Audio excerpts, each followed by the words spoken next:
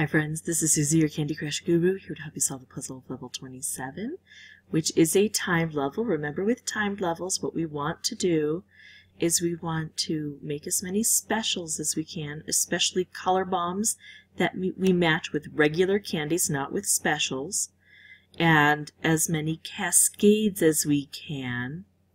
Uh, we want to create cascades where we make a move that sets off other moves because then we can get plus fives to add more time back to our time clock. Now we used to, on the old platform, be able to see what the level was going to look like beforehand uh, from the map screen. And technically we can't here, although we can. Uh, what we can do is hit play,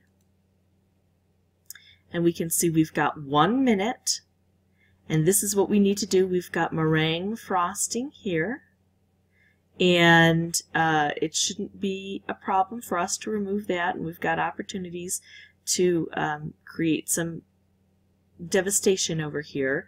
Um, we don't have to remove meringue for this, but it just makes it easier. Now here's what I'm going to do. I'm going to go ahead and quit. You press the quit button, and I'm going to say end game.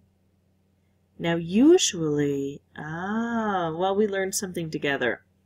Usually on a level, we can quit without any bad things happening. No loss of a life, no loss of a um, booster. But my experiment here was that I should be able to do that with this. Now I guess once the time ticks away, we don't get the opportunity to quit without any bad things happening. It's actually considered a quit. So don't do that like I just did. We did get to see what the level looked like, but it's not worth it to lose a level. Let's go ahead and jump back in, and we'll go ahead and get this done. At least now we know. Okay, so I'm not paying attention to the clock, and I'm not even paying attention too much to all of the specials I could be making.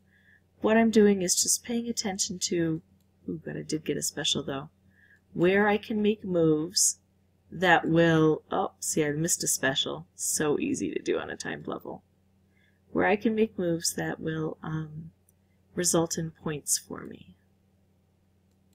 Taking this meringue out means that I've got more space to make more matches and specials, so that's always a good idea if I can manage it. So I'm just making moves near where there's meringue. Here we go.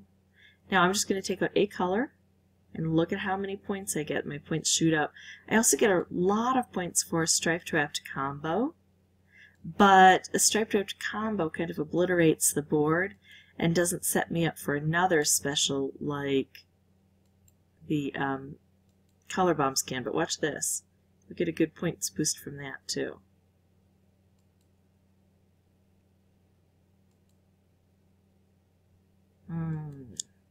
I can do it. There we go. All right.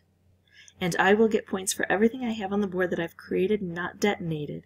So even if my time should run out and I don't have my three stars or whatever I'm looking for, I will still get all of the points. Look at that, and I even got something else created, so I bet that's going to uh, boost me up considerably.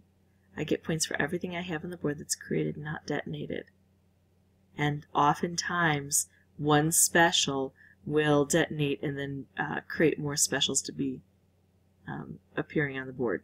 Alright, so that's how I beat this level, learned a valuable lesson. You can't go in to look at the board and then back out without repercussions.